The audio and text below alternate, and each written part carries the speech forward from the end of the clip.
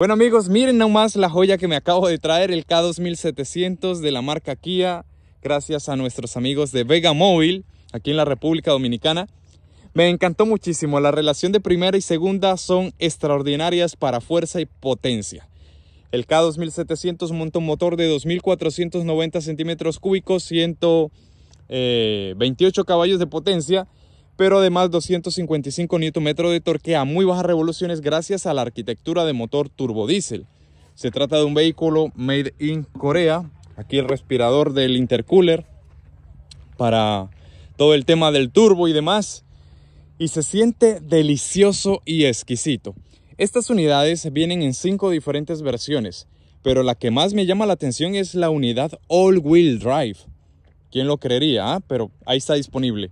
Tenemos además versiones de llantas mellizas hacia la parte trasera y capacidad de carga de 2.500 kilogramos